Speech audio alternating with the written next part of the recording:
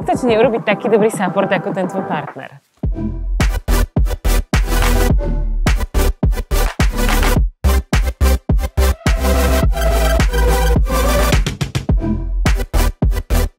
Volám sa Janka Slačková a vítam vás pri ďalšom podcaste s názvom Ecovox. Mojimi hostiami sú známe osobnosti, ktoré majú spoločné jedno. Vždy idú za svojimi snami. Táto cesta možno nie je vždy jednoduchá, ale zotrvajú a potom sa stanú inšpiráciou pre nás všetkých ostatných. No a dnes tu bude mať takúto jednu osobnosť. Aj so mnou na dnešnej prechádzke mojou hostkou bude slovenská moderátorka, herečka a hobby ultra bežkyňa Lenka Poláčková. Leni, ahoj, vitaj. Ahoj. A Harness môj pes. Áno, áno, som, som rada, že si, že si predstavila aj Harness, ktorá sa tak akože priamočiaro hneď rozbehla dopredu. Akože prekvapila ma, že tak vyštartovala, že čakala, že budeme asi bežať. Takže udala nám hneď tempo, takže to je výborné. Kameraman ten už teraz sa bojí, že čo ho čaká. Takže Harness len tak do toho, tešíme sa. Len ja som spomenula, že ty si moderátorka, herečka, hobby, ultra bežkyňa. V čom z týchto všetkých povolaní alebo z týchto všetkých hobby ktoré robíš a ktoré ovládaš, v čom sa cítiš najlepšie? Vieš čo, možno je to už také ohrané kliše trošku, ale ja mám rada, keď vravím, že som profesionálny dobrodruh tom sa cítim úplne najlepšie. To znamená, že bežíš tým životom doslova a teda berieš mm-hmm. všetky výzvy, ktoré ti prichádzajú a nejak s nimi nakladáš. Že to nie je také úplne špecifikované len na to behanie, ale že sú to celkovo hory, nejaký taký životný štýl, a rôzne dobrodružstva, zážitky, príbehy, že je to taký komplexný balíček všetkého. Kým si tento balíček tak trošku rozoberieme na drobné, tak povedz mi, že ako si sa dostala k herectvu, ako, ako to celé prebiehalo. Ja som inak nevedela predtým, že ty si herečka. Ja som ťa vnímala vždy ako moderátorku. Uh-huh. Ale, ale ako, ako vzniklo to herectvo? No ja som vyštudovaná herečka, to, takže v podstate aj asi lekár, ktorý neliečí, nie až taký lekár.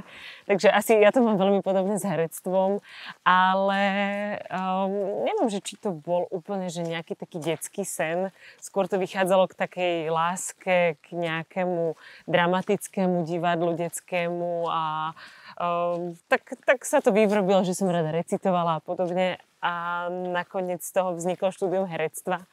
A venovala som sa mu nejakú dobu, do nejakého obdobia a potom potom som to tak opustila.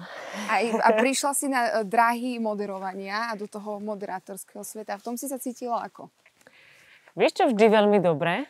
A viac sa mi páčilo byť sama za seba ako úplne, že za niekoho iného. I keď e, prežiť si také tie osudy nejakých druhých ľudí bolo pekné, ale ja som vždy bola nejaká milenka niekoho a podobne a akože seriálová.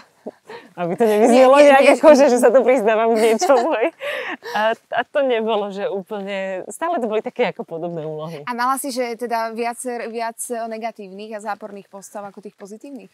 Neviem, stále to boli nejaké ako romantické záležitosti, ale akože áno, skôr také tie mrchy. No. Možno, možno tie vlasy nabádali tých režisérov k tomu, že že budem že uh, budeš... takouto uh, nenávidenou milenkou. No. Nie, možno režisér si vždy, keď sa povie milenka, tak predstaví nejakú ríšavu, ale to vôbec tak nemusí ja byť. Práve, práve. Takže, takže o toto bolo sympatickejšie pri tom moderovaní, že som si to mohla ísť tak sama za seba, za takého ako trochu sympatickejšieho človeka.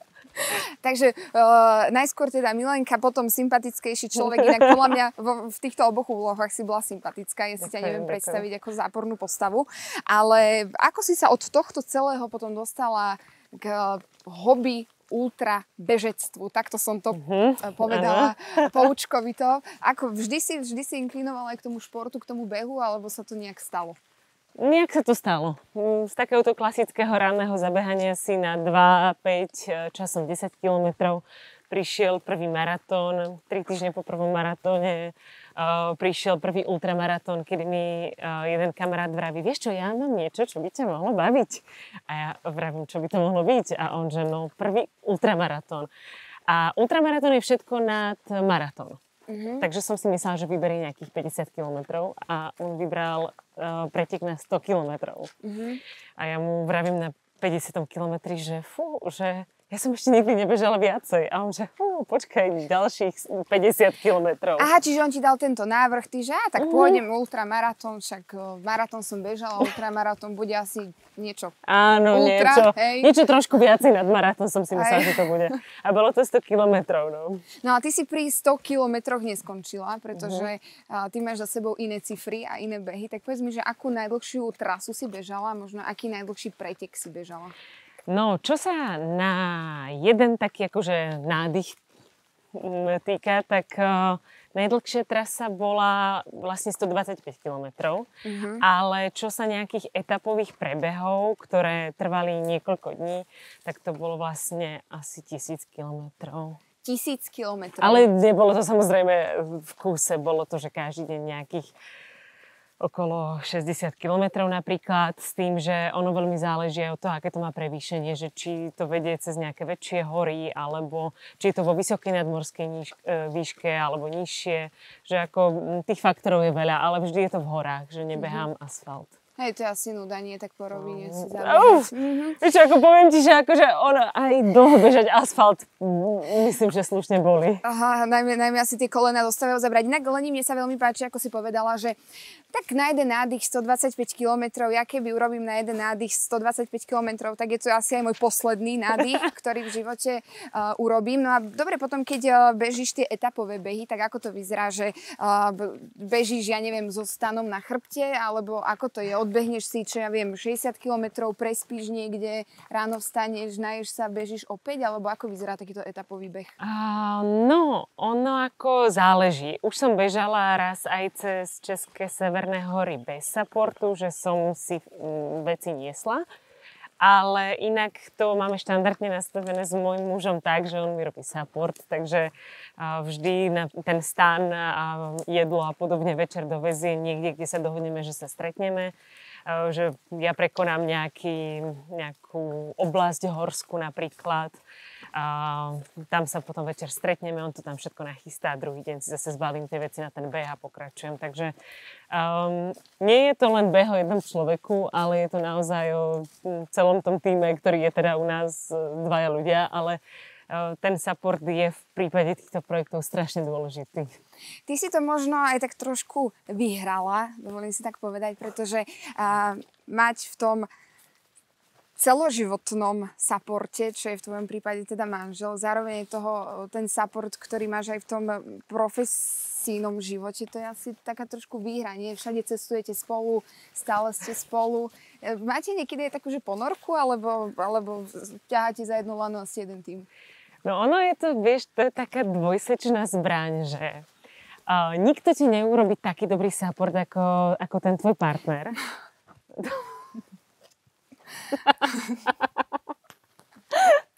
Dobre. A...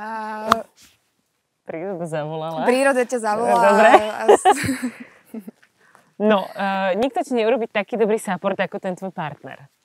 Ale na druhú stranu presne, že aj mu povieš akože také veci, že častokrát, čo by si ani možno tomu nejakému cudziemu supportu nepovedala. Hej? A on ma má so všetkými takými tými najdrsnejšími emóciami, ktoré si prežiješ v ten, um, keď si ako fakt, že už fyzicky a psychicky na dne, takže ako ja na neho nakričím, lebo som jednoducho unavená, hej. Tak uh, neviem, že či by som to nazvala úplne, že ponorka, ale máma v takej takej veľmi súrovej fáze, keď, keď bežím tieto dlhé trasy.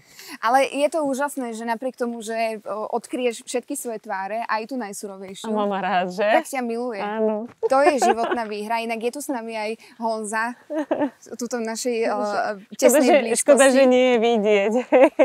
Ale musím povedať, že aj teraz je naozaj výrazný support, pretože uh, ťahať kameramana po tejto trase je support, takže nie len Lenka, ale aj náš pán kameraman má support. A vieš čo, on je taký parťak, akože to, to musím uznať. No dobre, Lenia, stane sa vám také, že čo ja viem, chcel som povedať, že tichú domácnosť, ale asi keď ste v Peru, tak tam moc domácnosť není. Um, neviem si predstaviť, že čo na nejakom 300 kilometri sa pohádate a do 500 kilometra sa nerozprávate. Také sa vám asi nedeje, hej? To sa nemôže stať. No, uh, úplne to není, že tichá domácnosť, ale on už akože, on vie, že kedy má mlčať, hej? Takže ja napríklad prídem, tresknem paličkami o zem, poviem mu, že ty si nevieš predstaviť, aké je to náročné. A on tak mlčí, hej, podá mi nejaké ovocie, vodu. Ako on má v tom posledne tú trpezlivosť. Leni, keď beháš tie také etapové behy, čo vtedy ješ? Ako to tam vtedy vyzerá? Čo piješ? Máš so sebou nejakú desiatu ráno ti Honza nabalí, tu máš chlebík s maslom, s paprikou, no, jablčko a tak? Zhruba. Akože ono, ono sa to veľmi vyvíja. Na začiatku uh, by som zjedla, že úplne všetko. Mm-hmm. Ale potom, keď to telo prejde do takého úsporného režimu, že naozaj taký štvrtý deň si to telo začne zvykať na tú extrémnu záťaž, tak ono aj prestane mať akoby takú chuť zjesť toľko energie a napríklad keď je to vo vysokej nadmorskej výške, čo v podstate posledné dva projekty boli, tak v tej nadmorskej výške sa nedá ani toľko jesť, čo nie je úplne dobré, pretože potom už začne požierať svaly a naozaj už berie z takých tých zásob. Ale ja mám rada normálne jedlo, že nejdem si úplne nejak špeciálne gely alebo tyčinky. Takže v podstate áno, ten chlebík, hej, jablčko. A e, strašne sa to mení, že niekedy, uh, ja neviem, keď som napríklad bežala cez Colorado, mne sa to nikdy predtým nestalo, že ja som absolútne milovala pomaranče. Ja si nedám pomaranč ako rok dlhý. Ja neviem, či som mala taký nedostatok C, takže ja som každý deň, a mám pomaranč. A takže som si hneď brala už dva pomaranče. Je to také individuálne, ale úplne v podstate obyčajné jedlo.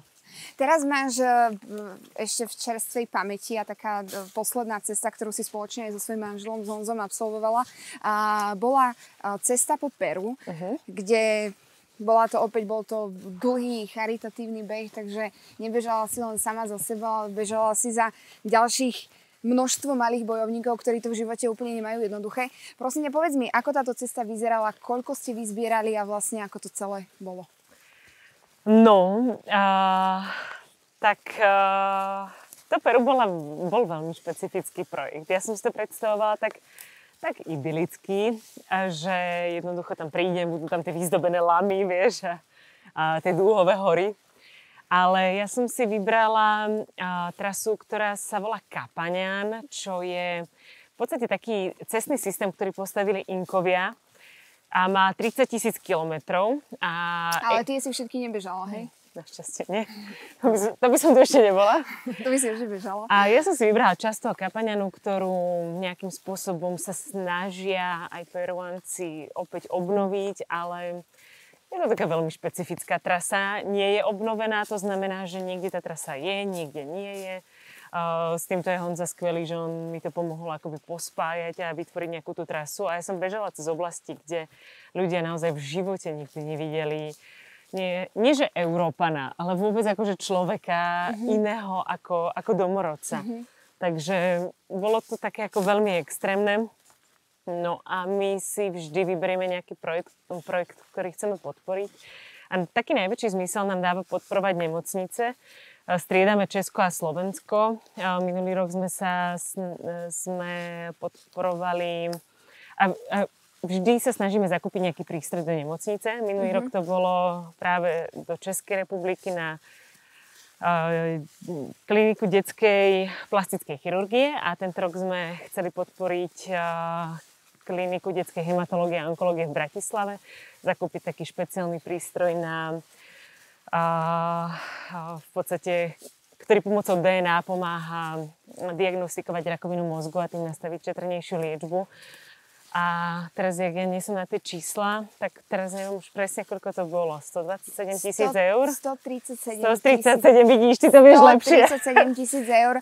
A pomohlo na vašej tejto ceste 7300 ľudí. Áno. Ste dokázali spolu so sebou strhnúť naozaj oni denodene sledovali, kde si, čo si, ako sa ti darí. A, naozaj je to neuveriteľné. A je to že... neuveriteľné, že ono v podstate aj ten rok predtým, to bola takáto istá suma, uh, zase na ten druhý projekt do tej Českej republiky, že, že je to zaujímavé sledovať to, že koľko ľudí chce nejakým spôsobom tak naozaj drobnými sumami pomôcť a že my tak vždycky v podstate si môžu adaptovať moje kilometre cez Instagram Hej, že, že sa tie sociálne siete dajú využívať aj ako na takéto pekné veci. Že je to super.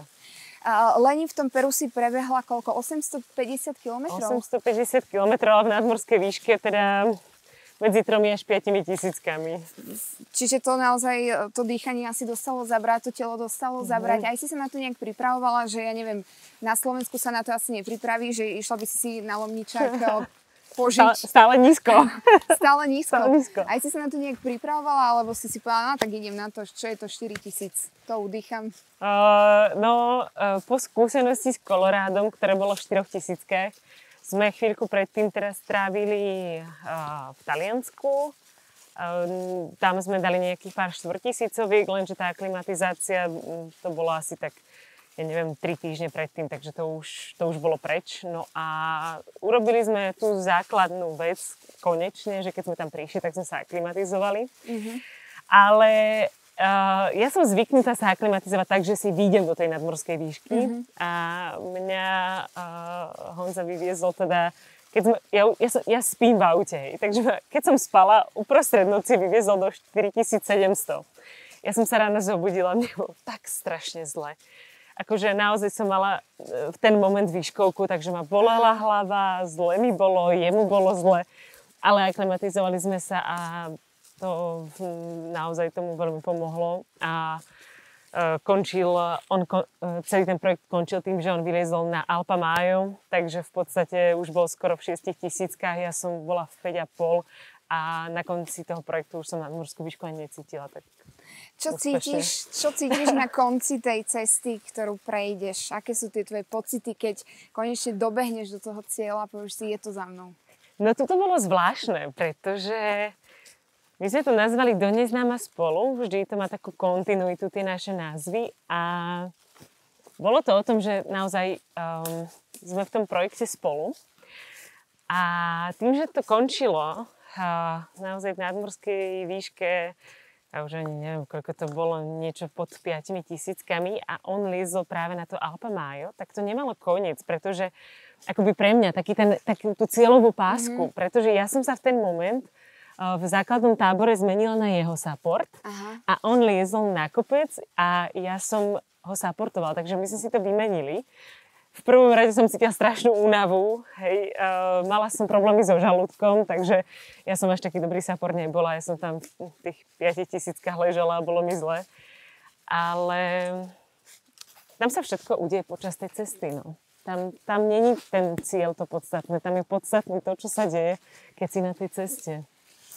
Leni, Peru, Južná Amerika celkovo asi to nie je úplne najbezpečnejšia krajina. Bála si sa niekedy, či už v Peru alebo predtým na tých svojich cestách, o svoj život, že naozaj si, že si sa bála, že dobre, tak toto je možno môj posledný beh, tu zostanem. Ja som sa, uh, napríklad v Koloráde som sa veľmi bála toho, že stretnem pumu. Tu som stret, tla tak akože z diaľky, mm-hmm. alebo dve pumy som videla z diaľky, takže to nebolo také úplne stretnutie. V Peru ma hneď asi druhý deň okradli. A kde? A počas toho, ako si behala? Akože ja si neviem predstaviť, že teba by niekto dobehol. našťastie, alebo našťastie, no bolo to ešte v Líme, takže mm-hmm. bolo to na ulici také, takéto úpežné prepadnutie. Počkaj, počkaj, tak akože také, ako si predstavujeme z filmov? Alebo... Uh, bol to bol na motorke, niekto do mňa tak akože sotil a motorkár mi vytrhol Tak ale len to je ako z hollywoodského filmu. Úplne. To sa nemôžeš ani na nich hnevať. Nie, nie, nie. Akože... Bolo to akože, bolo to také akože filmové. Filmové. A, a potom sme zistili, že v Peru sa zvýšil stupeň kriminality na trojku z 5-stupňovej škály stupnice a do oblasti, do ktorej sme šli, bola tá kriminalita až na štvorke. A ja som sa nebala o seba, pretože ono paradoxne v tých horách bolo naozaj bezpečno, ale mm-hmm. ja som sa bála, bála som sa o Honzu, no, pretože nám všetci peruánci vraveli, no tak to ste sa zbláznili ísť pick-upom niekde po Peru, hej, že mm-hmm. ukradnú vám auto, ukradnú vám všetko. A reálne som sa bála, že aby on bol v poriadku, ale mm, tam to bolo naozaj spôsobené primárne tou chudobou. A nešlo tam o život, šlo tam naozaj len o ten majetok. Takže uh, bol to taký iný pocit. Nebála som sa o seba, bála som sa o neho. A to je asi horšie než ten strach o seba. V akých najextrémnejších, teda už vieme, že v akých najvyšších, najväčších výškach si bežala, možno v akej najnižšej teplote alebo najvyššej teplote si bežala. Pre mňa osobne je, ja mám najväčší strach z toho, že raz zamrznem. Uh-huh. Hej, ja neznášam zimu, pre mňa je otužovanie akože naozaj, neviem, neviem si to predstaviť. A máš A... rada teplo, hej? Milujem teplo. OK, tak pre teba by bol Marathon des Sables, ale ten mi môj muž zakázal bežať, ten je v púšti. Aha, ten by sa ti mohol páčiť. Uh, mohlo by sa mi páčiť, keby tam môžem si 60 odbehnúť a, a tam to aj skončí. No, krásne. Áno, tak akurát vieš. A, a, no dobre, ale v akej najnižšej teplote sa dá, sa dá bežať, alebo si ty bežala? Ja som bežala taký veľmi pekný pretek aj z ultra za severným polárnym kruhom vo Švedsku. A bolo tam v jeden moment toho preteku minus 35 Aha. Ale bolo to také špecifické, lebo ja som to v podstate celé bežala v snežniciach, čo akože napadli tam 2 metre nového snehu.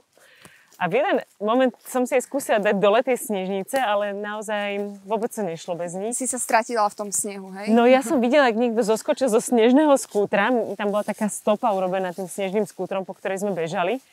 A zoskočil z toho skútra a zapadol, že asi takto. Mm-hmm. A ja si vrajím, aha, OK, tak asi sú tie snežnice dobré. Hej.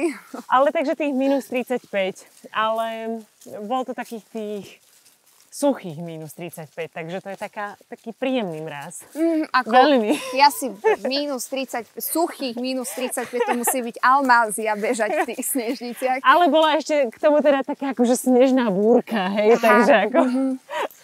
uh, Leni, teraz možno zmení život nám všetkým. No. Pretože koho iného sa môžem opýtať túto otázku, ak nie teba. Keď sa ti napríklad ideš bežať 1000 km, na 200 km ťa otlačí topánka, máš nejaký životný lifehack, čo s otlačenou topánkou, alebo sa ti to ešte nikdy nestalo?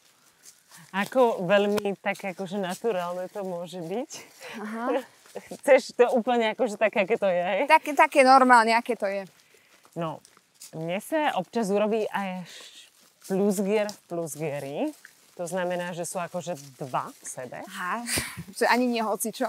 Áno, no a potom mám normálne ihlu, dezinfekciu, prepichnem. Aha, takže, no, takže, takže takto na to, hej, treba ísť s otlačenými topánkami. Ale vieš čo, je lepšie tomu akoby predchádzať, že uh, samozrejme na tých dlhých trasách to nejde, ale na takých kratších keď mm-hmm. si dám na nohy vazelínu, mm, tak mm, aj, aj zo 100 kilometrového preteku môžeš výjsť bez otlaku. Mm-hmm. keď, asi be, keď, asi ideš na tie, keď asi ideš na tie svoje uh, behy mm-hmm. rôznych vzdialeností, bereš si zo sebou nejaký rupsačik alebo niečo, kde máš možno vodu, mm. nejaké jedlo. Bereš si aj nejakú kozmetiku, nejaký jeden produkt, ktorý skrátka na tej ceste musíš mať? Mm-hmm, beriem. A čo to je? A ja som akoby veľmi taká ako špecifická tým, že ja musím mať so sebou všade rúž. A um, naozaj robím to, že uh, niekedy, keď dobieham do cieľa toho preteku, tak si tak, tak ten kilometr pred tým cieľom vyberiem ten rúž, dám aby si, si teda ho, vieš, aby som mala dobrú do cieľovú to musí byť občas úplne absurdné, pretože ako, fakt ako bežíš na, na hranici už toho, všetkých svojich síl, hej. Teraz sú tam s tebou tí ďalší bežci na hranici tých svojich síl. Aha. A teraz si tam nejaké ženské vyťahne rúž, aby si prerúžovala pery. Len ja si myslím, že tento záverečný beh musíš týmto spríjemniť každému bežcovi, ktorý hej. sa nachádza v tvojom okolí. pretože, pretože vidieť po tých stovkách kilometrov, ako si dáva žena rúž a aspoň v akom otieni Uh, tak akože niečo také, ako mám teraz. Uh-huh. Niekedy také ako menej výrazné, uh-huh. ale taký akože taký naturálnejší. Ako, Natura- naturálnejší. Také prírodzené. akože, ako viem si predstaviť, že dobehneš aj s takým krvavo-červeným rúžom. Nie, nie. Tak, tak ďaleko ešte zatiaľ nie som, ale je dobré mať aj tú variantu, vieš, pre istotu. Uh, len ešte možno jedna z posledných otázok. Nachádzame sa momentálne v lese. Ja viem, že ty si si z Yellowstoneského parku doniesla aj takú že príručku, že ako na medvede. Uh-huh. Keby tu teraz čírou náhodou nejaký vybehne, uh-huh. čo s ním mám robiť? Alebo ty môžeš, ja to rada tebe prenechám, ty vyzeráš skúsenejšia. Uh, zachovať pokoj, primárne. Asi by som sa snažila, akože aby sme obidve zachovali pokoj. Uh, mňa zaujala jedna taká vec, že medveď môže blafovať, čo ja som vôbec nevedela že on môže dokonca proti tebe aj vyštartovať, hej? A hlavne si ho teda netočiť, nefotiť, hej, že asi... Žiadne selfie s medveďom. No, asi by som do toho úplne nešla, mm-hmm. ale že môže po, normálne blafovať, že po tebe vyštartuje, ale nechce ťa nechce ťa zožrať alebo nechce na teba zautočiť, len on už nevie čo, ako ťa má odstrašiť a tak sa proti tebe rozbehne, môže do teba dokonca aj vraziť, ale nechce ti ublížiť. Takže zachovať pokoj za každých okolností. Pani, ďakujem. Ak by náhodou nieký vyskočil, ja sa vzdialím a ty už tu s ním, Dobre, a ja, ty už tu s ním konverzuj, hej, ako potrebuješ. Áno, ale v Yellowstone nebol grizzly a úprimne si poviem, že neviem, či by som zachovala pri grizzlym pokoj. Naša dnešná prechádzka v rámci podcastov Ecovlogs je na konci, len ja mám na teba ešte záverečnú otázku, pretože ocitli sme sa pri observatóriu, sme pri hviezdách, stiažovali sa páni, že majú málo hviezd, tak vravím, nebojte sa, dve vám donesiem. Mm. Tak dve som aj doniesla, ako som slúbila. Um, len neviem, že ty o svojich plánoch nehovoríš, je tak, tomu tak, lebo by sa nesplnili. Lebo by sa nesplnili. Inak na toto verím aj ja, Hej? takže úplne súhlasím, Dobre. ani sa nepýtam. Skôr ma zaujímalo možno nejaký, nejaké tvoje moto, nejaký tvoj odkaz, ktorý by si chcela odkazať našim divákom. Možno čím sa riadíš, čo ti pomáha v živote. Mne sa na tých dlhých trasách alebo celkovo pri plánovaní dlhých tras, keď som váhala, že či do niečoho ísť, či to nebude príliš veľký extrém, osvedčilo mm, dať si na dve misky váh pre a proti a ako keby úplne záhodiť to proti, že takéto váhanie, že či to bude dobré, či do toho ísť, či do toho neísť. A moja mama vždy vravela, že si mám napísať všetko, čoho sa bojím, všetky svoje strachy a ísť do toho a potom sa spätne pozrieť na to, či sa tie strachy splnili.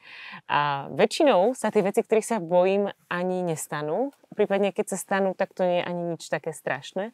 Takže mm, nebať sa, ísť do toho a naozaj neváhať, že človek naozaj ľutuje skôr to, čo neurobil, než to, čo urobil. Takže asi toľko. Tak myslím si, že naozaj vydatná inšpirácia od Lenky, ale aj zároveň aj od Harnes. Dámy, ja vám ďakujem, že ste dnes boli súčasťou, že ste sa prišli prejsť týmto našim jesenným lesom. My ďakujeme. No a Harnes, aj tebe ďakujeme. Ona mi asi neodpovie však. Ale veľmi si toho váži, ako ale... rada chodí do rozhovorov aj na prechádzky. Ale cítim, že, že to cíti rovnako. No a verím, že s vami sa vidíme pri ďalšom pokračovaní podcastov Ecovlogs. Moje meno je Janka Slačková a ja ďakujem, že ste boli dnes s nami.